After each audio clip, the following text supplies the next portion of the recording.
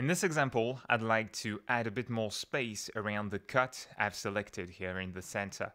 The audio is playing back too fast and the listener will need a bit of rest before we jump from this topic, this section on the left, to the next section on the right.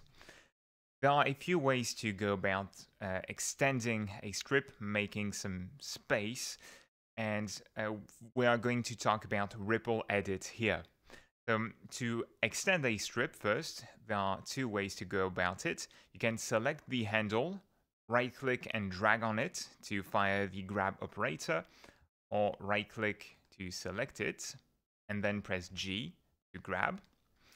And the other approach is to use the built-in extend function. For this, you need to have the time cursor somewhere on the strip, your mouse cursor to the right of the strip, and you press E or extend. This sounds like more operations than clicking and dragging, but while you are working, it's very convenient as often your time cursor will hover the strip while you are playing back your footage, for example, and your mouse cursor will often be on the right side of the strip. Uh, the reason you have to have the mouse cursor to the right is if you actually place it on the left, you're going to extend the left side of the strip, making this tool very versatile.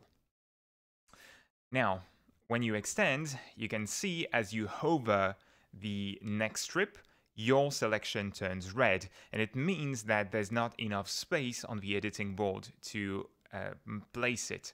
If you click and validate here, the strip disappears Actually, it's gone to the end of the sequencer where Blender found some space to place it. And now we're going to extend it and keep the Alt key down. When you do this, you toggle the Ripple Edit function on, and Ripple Edit is going to make some space for your changes. The Alt click to validate, and there's just one problem. You can see that the audio below the strip followed. When you have uh, strips that are synchronized, audio and video, it's not going to be an issue. But if you edit audio separately from the strip, like I do, you're going to have this effect. And I just want to cover this simple workaround. It's that you can negate the effect by just adding a cut right here, and you do the exact same thing. Now, because you don't have any audio behind the strip, it's not going to be pushed forward. So that's one way to add some space around your strip. It also works if I press E to extend, keep the Alt key down and click to ripple the edit.